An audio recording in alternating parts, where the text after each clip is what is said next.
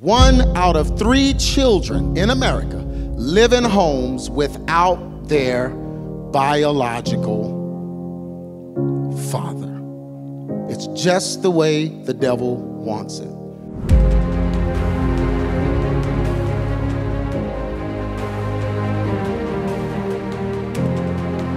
God's desire is for every home to be under the authority of a man.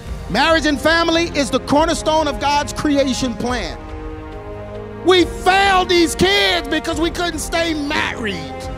When parents break up a marriage, they force the children to seek an alternative identity.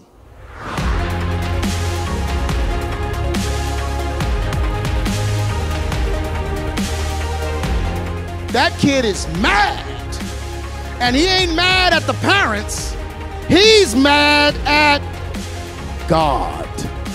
So he's going to find another belief system because you messed Christianity up because you couldn't forgive. So what I'm going to do is I'm going to go find me a God that's mad.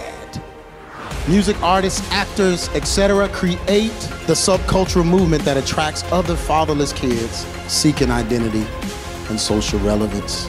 I wasn't going to talk about this in this, but this is an opportunity for them to really mess things up. CERN is using antimatter to attract beings from other dimensions. Right now, there are people walking around possessed by demons from what they have done. I'm doing a message like this because it's important to understand the role that a man plays even with CERN. It's time for men to stand up and be strong. Turn the hearts of the fathers back to the children.